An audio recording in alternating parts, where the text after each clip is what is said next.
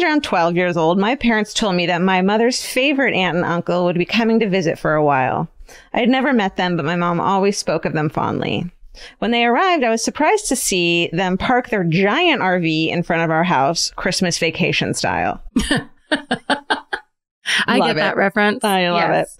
it. They sat in our living room, strumming the auto harp, wailing out tinny bluegrass songs, and telling stories of their colorful life living across the country in an RV. I knew that my uncle, let's call him John, had been a very successful businessman. So once they left, I asked my mom why they lived in an RV.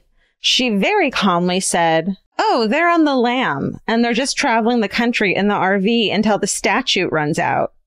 you probably shouldn't tell any of your friends what their names are.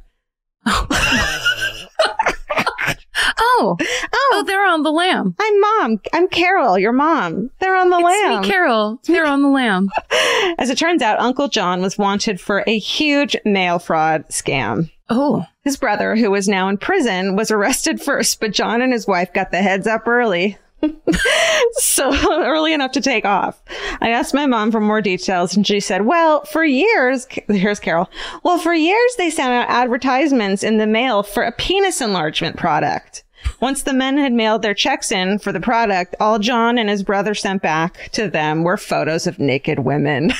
it's a penis enlargement. it's sarcasm through the mail. That's fucked up. Like they didn't have to send anything. They could have just No. not responded. And instead they were like, get it? They're like, Eh, eh, eh, eh, eh, gotcha. Gotcha. Gotcha. They made enough money to support two households. so, Fuck. so apparently his quote, successful business was not at all what I thought it had been. John's statute ran out over 20 years ago, but he and his wife got so used to living on lam that they decided it was home and continued to live that way until he recently passed. I guess I'm glad that his ridiculous scheme ended up providing them with their dream lives. Mm-hmm. Anyway, love you guys. Stay sexy and don't promise penis enlargements. Angela from Tulsa. Oh no, Angela. Penis enlargement. That is hijinks. Hijinks.